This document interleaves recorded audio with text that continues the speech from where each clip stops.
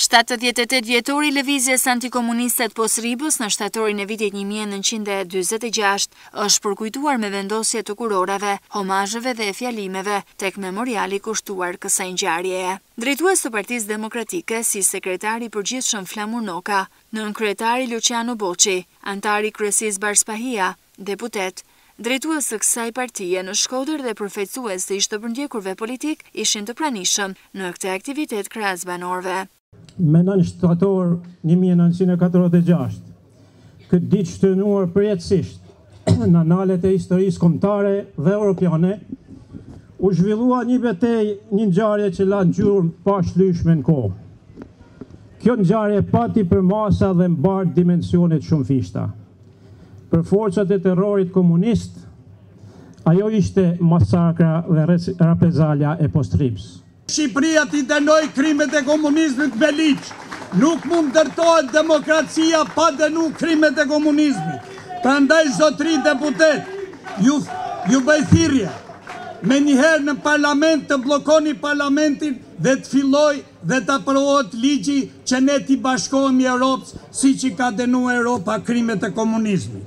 Ndërsa, krerët e Partisë Demokratike theksuan se mesazhi i Lëvizjes Antikomuniste të Postribës është aktual, për të frymëzuar mbrojtjen e demokracisë, që sipas tyre rrezikon Edi Rama me qeverinë që drejton.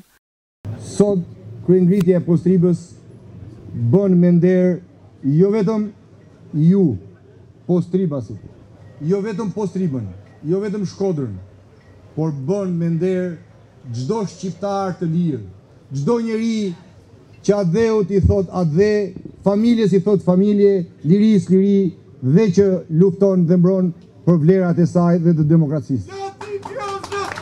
Kjo pasi burra si Jup Kazazi dhe Osman Haxhia, së bashku me të tjerë, kuptuan të parët se re e zezë po mbulonte jo vetëm Postribën dhe Shkodrën, po gjithë Shqipërinë.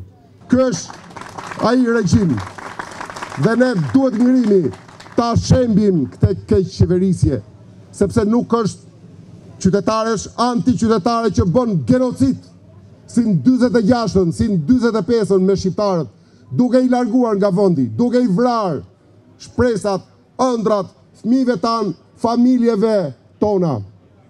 Dhe lavdia e Postribës do jetë e plotë. Dashur banor, dashur demokrat, dashur qytetarë të Shkodrës, Shqipërisë, vetëm kur ne të ecim në rrugën, në shtegun që hapën martirët e Postribës. Kjo veprimtari përkujtimore u shoqërua edhe me pjesë artistike, sipas historianëve, Lëvizja Antikomuniste e Postribës, në shtatorin e vitit një mijë e nëntëqind e dyzet e gjashtë, u shtyp me dhunë nga pushteti komunist, ku nga kjo zonë pati njëzet e tetë viktima dhe dhjetëra të plagosur.